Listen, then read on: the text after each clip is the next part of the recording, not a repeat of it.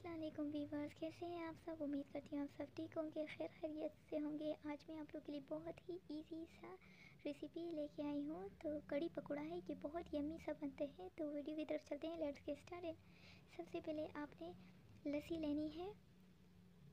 मैंने लस्सी लिया है, ये घर की दही से मैंने बनाई है लस्सी। आप लोगों के पास अगर लस्सी है तो आप लोग वो भी ऐड कर सकते हो। तो अभी मैं चम्मच कंटिन्यूली चलाती रहूँगी।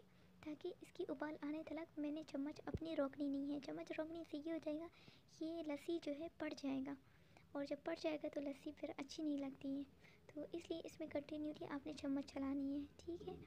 उसके बाद जो है आपने एक मीडियम साइज़ की प्याज लेनी है, उसे चॉप कटिंग करनी है। और उसके बाद जो है ग्रीन चिली भी लेनी है। और ये जो है मैंने पाँच चम्मच जो है बेसन लिया है। और इसमें अब मैं ऐड करूँगी। ये मैं पकौड़ा बनाने के लिए इंग्रेडिएंट तैयार कर रही हूँ। तो ये मैंने सबसे पहले प्याज ऐड किए सारे मैं प्याज ऐड डाल दूँगी इसमें।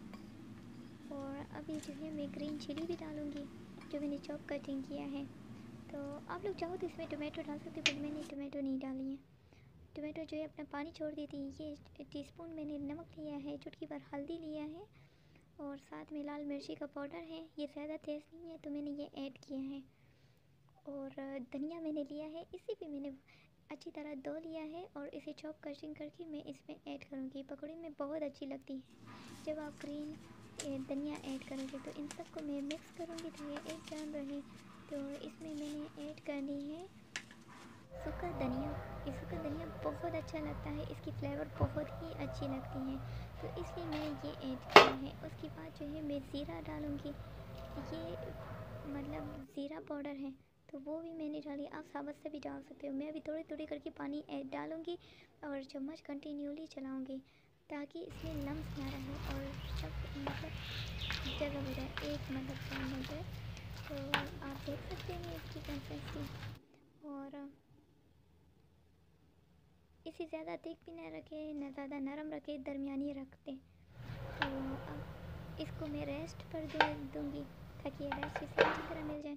और यहाँ पे अब मैं कड़ी की मसाले की तैयारी करूँगी। तो सबसे पहले दो टमाटर लिया है और एक लहसुन लिया है। ये देसी लहसुन है।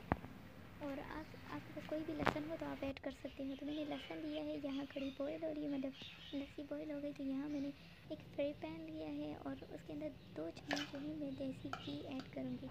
आप कोई सा भी घी ऐड कर सकते हो। अगर आपके घर में घी ना हो तो आप तेल भी डाल सकते हैं।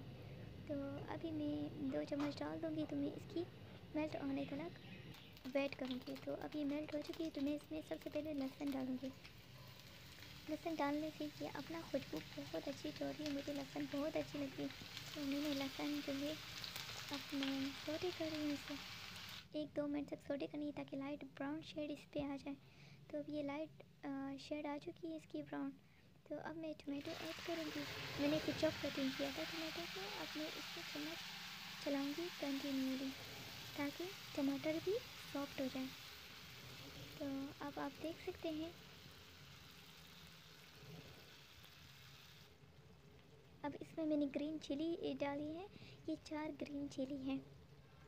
तो मैंने ये डाली है। ज़्यादातर तो लोग जो है मतलब उसमें बना लेते हैं। लेकिन तो मैं आप लोगों को ये नया तरीका बताऊँगी। तो ये मसाला रेडी हो चुकी तो अब मैं कड़ी में ऐड करूँगी। तो अब आप लोग देख सकते हैं इसका लुक कैसे आ रहे हैं। लग तो दूसरा भी मतलब रहते हैं, पकौड़ा भी ऐड करनी है मैं तो अभी ला फ़िलहाल इसकी लुक ऐसी आ रही है, बहुत यम्मी बनती है। आप लोग भी अपने घरों में ये ट्राई करें। और अगर आप लोग मेरे चैनल पर नहीं हो तो प्लीज़ मेरे चैनल को लाइक करें सब्सक्राइब करें और शेयर करें। तो प्यारी से कमेंट्स भी करें। और ये मैं ऐड कर रही हूँ ऑयल तो आप मतलब घी भी डाल सकती हो, तेल भी डाल सकते हो। ये पकौड़ा फ्राई करने के लिए मैंने डाली है, ताकि इसमें सिर्फ़ पकौड़े फ्राई कर सकूँ।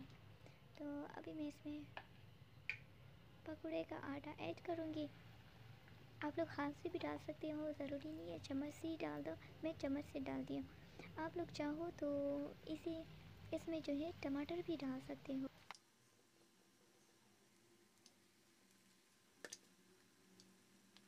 जब तक ये फ्राई होगी तो ये ख़ुद इसकी नीचे से कलर चेंज हो जाएगी और ये मतलब नीचे से ऊपर आने लगेगी तेल में। तो समझो ये फ्राई होने लगी है तो इसको साइड पर चेंज करना पड़ेगा आप लोगों को। अभी मैंने जो है इसे सीप में उल्टा के अब मैं कड़ी में फ़ौर ऐड करूँगी। और आप लोग भी ऐसे ही करें फॉलो करें। फ़ौर आपने कड़ी में ऐड करनी है। और इसमें मैं ब्लैक पेपर अभी ऐड करूँगी। ब्लैक पेपर से इसकी फ्लेवर्स बहुत अच्छी आती हैं।